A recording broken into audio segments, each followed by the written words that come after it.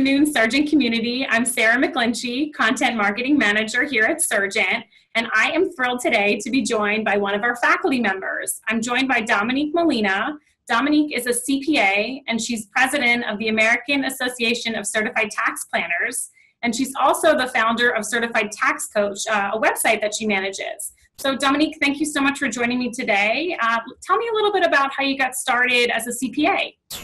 Thanks, Sarah, for having me. Um, you know, I got started like most CPAs do, although my story goes way back because I've been balancing my parents' checkbook since I was eight years old. So I think the love of numbers is just in my blood, like a lot of CPAs out there. And uh, so I took the traditional track way back when we had to actually do the exam by hand and pass all four parts and worked for uh, a public accounting firm before starting out uh, my own tax practice here in San Diego. I do a lot of instruction, uh, in fact, but I still run, uh, I'm active in running a tax practice. So every single day I'm still in the trenches. And I think that gives me a unique perspective uh, in working with thousands of CPAs around the country. So I do an awful lot of instruction. I really love meeting and talking with people and sharing my love of the profession with others. So, would you say sharing your love of the profession with others is what you like most about teaching CPE and about instruction?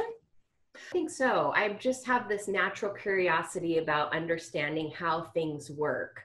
And some people may label me a tax geek, and that's a, a, label that I'm proud to wear.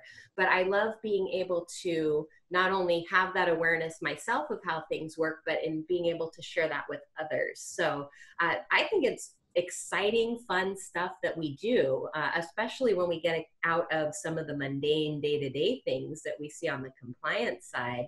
And there's a certain degree of creativity that can be used on the planning side in just understanding better how the laws work and uh, and that's so much fun. So i love uh, meeting new people and sharing that with others around the country. Awesome great. And then um, dominique just to take a step back how did you get involved in cpe Oh gosh, you know, I could tell you a really funny story, Sarah, and that is that I've long used uh, education as a way with uh, connecting with clients to bring new tax clients into my practice. And I've gotten better over the years with practice, but I got to tell you, in the beginning, it wasn't so easy. And uh, there was a, a, time where I was speaking to an audience of 250 real estate investors, and I was talking about tax planning. And um, back then in the early days, I really was focusing on the entertainment value because a lot of people share with us that tax just isn't that exciting. And so I came up with this, what I thought was a brilliant idea, that I would introduce magic into the presentation. And I found these, what's called flash paper, and it's a special magic paper that when you light, it just kind of goes up in a flame uh, really fast. And uh, I thought I was going to demonstrate that uh, in talking about how people waste money when they don't take advantage of deductions just because they don't know what they are. And uh, so I get ready to do this trick, and I had brought a little coffee can to keep my supplies in. And I went ahead and came time in the presentation, and I lit the paper and I threw it up in the air, and it kind of went like this, and then settled right on my cleanly white freshly pressed blouse.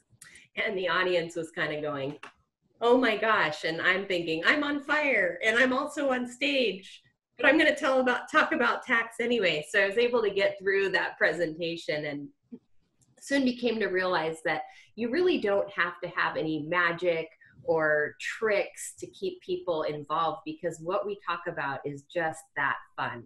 And so that was the last time I've ever had to use magic in a presentation before, but uh, I do it at the end of the day because it's I really love what I do and it's fun. Great. Well, we're so happy to have you here at Surgent as part of our faculty. And Dominique, thank you so much for your time today. Thanks for having me, and I look forward to meeting all of you. Take care.